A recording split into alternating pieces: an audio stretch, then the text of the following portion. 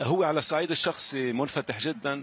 هلا بالنسبة لما ما عرف ما سمي بالإعلام بالمسلم بان مسلم آه هو الحقيقة آه هو برنامج آه آه بدأ مع الرئيس أوباما.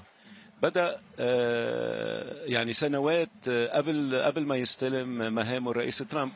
وإدارة الرئيس ترامب تابعت فيه بس آه، هو ما ما عنده أي شيء ضد المسلمين أو الإسلام كديانة ابدا بأي شكل من الأشكال. حتى هذا البرنامج اللي بدأه الرئيس أوباما هو يتعلق فقط ببعض البلدان يلي آه، في عندها مشكلة آه، بما يسمى الملفات أو المعلومات عن المواطنين اللي عم بيقدموا طلبات آه، الهجرة أو طلبات التأشيرات أو أو غيرها. من من ست أسابيع أصدر بيان رسمي لأول مرة على Truth Social تكلم فيه عن الحرب في غزة بشكل واضح وبشكل مفصل إلى حد إلى حد ما.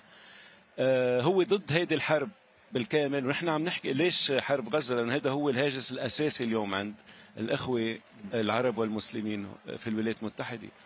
آه، هو ضد هيدي الحرب بشكل كامل بشكل قاطع. آه، ضد المجازر يلي عم بتصير بحق المدنيين ضد أي ضد الموت بشكل بشكل كامل للمدنيين لأي فئة انتموا. لكن ألا يعقد آه، مهمتكم مثلا عندما نسمع من الرئيس السابق المرشح الجمهوري دونالد ترامب في المناظرة التلفزيونية عندما ينعت بايدن على أنه فلسطيني وكأنها نعت سيء أو سلبي. أن يقول إن بايدن فلسطيني أكثر من الفلسطينيين مثلا. كيف ألا هذه التصريحات مثلا من ترامب ألا تعقد هذه المهمة شيئا ما؟ لا شك هناك كمان سوء فهم بهذا الموضوع. آه كمان هذا انحكى معه آه واستوضحنا آه الأمر. هو كان بشكل كتير كتير آه دقيق. يعني كان بيقصد هو يقول حماس. آه بس كان يمكن بتفكيره عم يحكي عن طرفين الطرف الإسرائيلي والطرف الفلسطيني. طلعت بهذا بهذا الشكل. بس هو المقصود بالتحديد عم يحكي عن طرف المقصود فيه هو حماس. طبعا ما بيقصد ابدا الفلسطينيين.